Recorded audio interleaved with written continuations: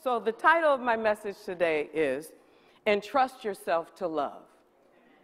Entrust yourself to love. God is love.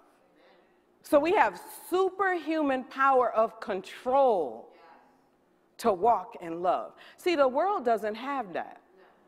See, you are not of the world, you are of your Father who is God.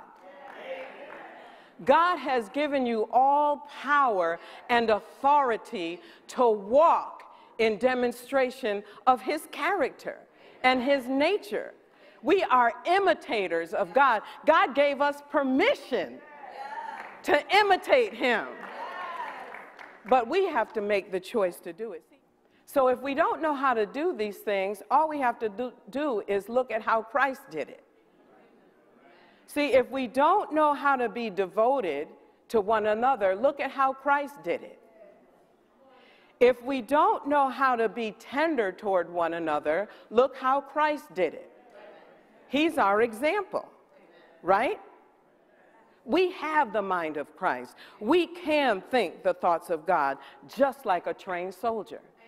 We're in the army of the Lord, and that is no light thing. God has an expectation for us as the people of God. Amen? So that body that's sitting on your left and your right is your body. Say, hello, body. See, Christ lives in that body. We ought to reverence the Christ that's in that body entrusting ourselves to God because we know that people do things and people say things because we're all growing in grace and in the knowledge of God. We're all in a transformation process.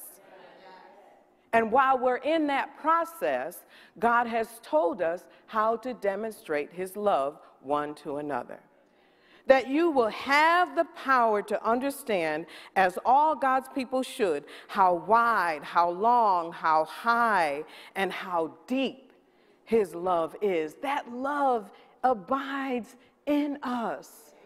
We don't even know how deep it is. And guess what? We're going to still be finding out until Jesus comes. And that's all right. See who you can outlove today. See who you can outlove today.